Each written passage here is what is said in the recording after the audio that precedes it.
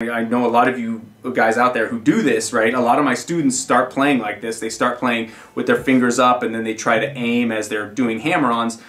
In order to aim like that, you have to like literally slow down as you travel through the air. That instead of hitting the string and like really powering into it, creating a sharp attack, you slow down as you get to the string and you know the flesh of your finger sort of wraps around the string like a pillow and softens the blow, softens the attack, and you get this sort of like, you know, like